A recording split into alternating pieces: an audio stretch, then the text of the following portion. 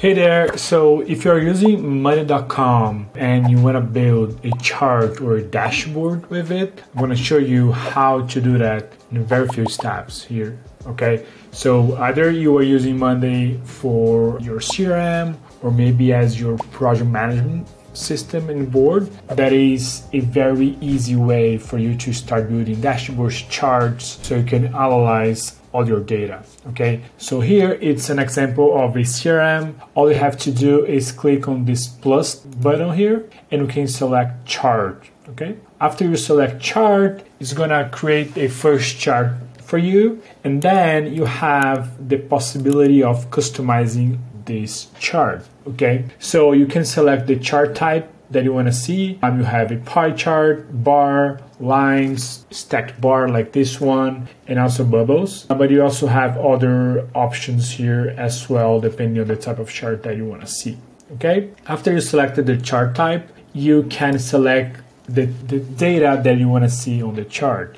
You have the x axis you have the y-axis okay so on the x-axis on this example i'm going to select the lead status but you, you can select any column, any field that you have on your board. Okay. Then on the Y, you can select, okay, for, for example, in this case, you have the option to select to count the number of items in each group, in each status here. And then you have the option to show the deal value. So you basically show the sum or the average of every deal value here according to each status okay? But i mean like for this example i just want to see how many deals i have in each status here okay? So i'm going to select count items and here you have the option to select if you want to show the, the items as a sum as an average medium minimum or max okay? So you can you have all these options as well but in this case i'm just going to select sum. And then you can select a benchmark line. So let's say that the benchmark of number of items is 30 or 40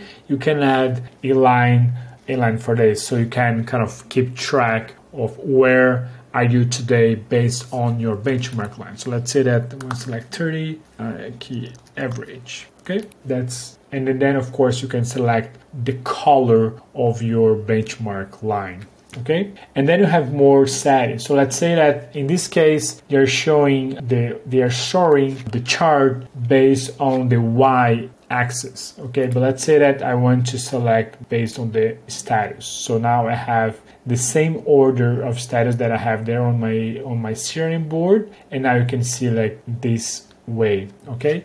You also have the option to show cumulative data and also if you want to show just empty empty values here. And this is so if you have different groups on your board you also have the option to select which group you want to show here on this chart. You want to be considered to to show on to show up on this chart okay? So you you can select here the groups. And that's mostly it. So now you have your chart and you you can keep adding different different types of charts. So you can add a chart you can add a number okay? For example let's say that you want to add a number as the average of your deal value. So you can come here, the same way that I showed you before, you have deal value and you can show the average, the average value of your deals there on your CRM, okay? Or you can select the battery to show the progress of a particular project or, or task. But the goal is for you to keep adding